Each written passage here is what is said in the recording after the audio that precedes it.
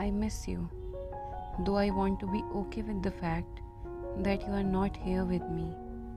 I want to wake up every day with a smile on my face because at least I have you, even if there are oceans between us.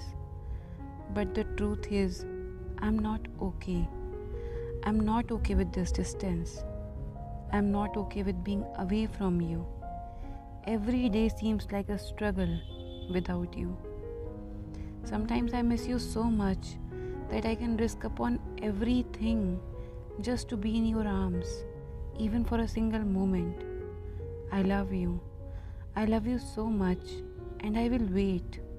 I will wait as long as I have to to be by your side. But being away from you is exhausting me.